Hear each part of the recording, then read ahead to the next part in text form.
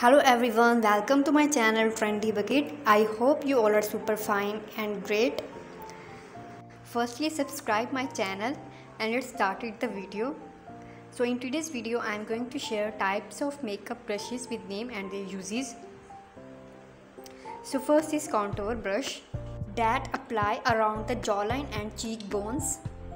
So the next is foundation brush when you are using foundation brush, apply foundation by gently tapping all over the face. So the next is bronzer brush which also applied around the jawline and the cheekbones. Next is stipple brush used for blending the foundation on the skin. Highlighter brush also called fan brush applying highlighter on cheeks or nose and also on forehead.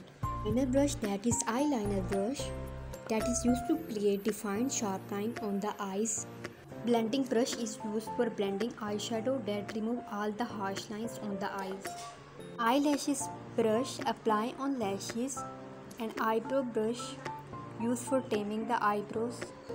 Blush brush apply on the cheeks and you can also apply on the nose and forehead. This lip brush it shapen your lips and helping evenly fill the lip colors. Next we have crease brush for blending the eyeshadow.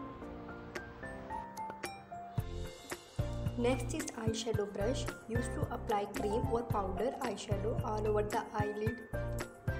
Next we have powder brush. Apply the powder and spread it all over the face evenly.